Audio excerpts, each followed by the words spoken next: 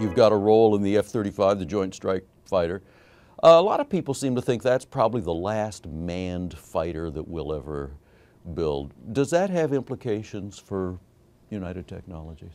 It's, it's, a, it's a great question. I think you know, there's not consensus within the Air Force today, I don't believe, in terms of will there be a next generation of manned aircraft. This is a, the fifth generation fighter.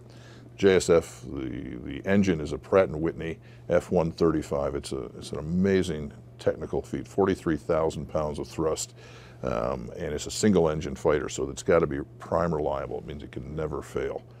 Um, as you think about it, the next generation, though, is probably going to be fought a little differently, and it'll be unmanned vehicles. Now, we have a presence in unmanned vehicles. Uh, we have engines on several different platforms, but I think uh, clearly this will be the last big procurement that uh, this generation will see of, of, fighters as we replace the aging F-16s, F-15s, F-14s that are out there. Let's think about the other side of the company, aviation. The big picture outlook is surprisingly strong, it sounds like. It's very strong. I think, again, just big picture here, there's about 22,000 commercial aircraft in service today around the world, about 5,000 here in the U.S., 17,000 outside the U.S. Boeing and Airbus both believe that in the next 20 years there will need to be 30,000 new aircraft. So half of the fleet today of that 22,000 will retire in 20 years, but you're going to add 30,000, meaning by the end of uh, the next two decades, you're going to have something like 40,000 aircraft in service, so double what you have today.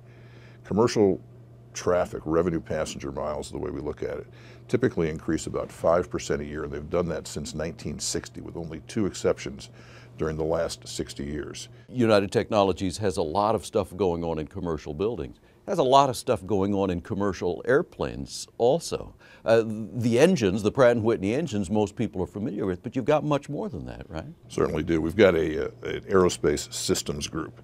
Again, this is a, the combination of our Hamilton Sundstrand business, which we put together back in 1999, and the Goodrich Corporation. Those businesses together are about $14.5 billion in revenue next year. Uh, very, very profitable. And they supply everything from the, uh, the slides that uh, deploy on an emergency landing to the electric power generation to auxiliary power.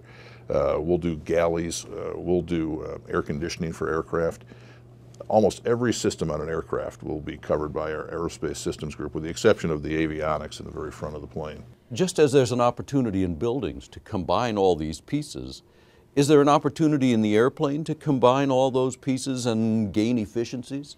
You know, that was the premise when, when United Technologies bought Sundstrand Corporation back in 1999. The idea was to combine Hamilton's business, which was a legacy business, and they did everything from propellers to air conditioning systems with the Sundstrand business.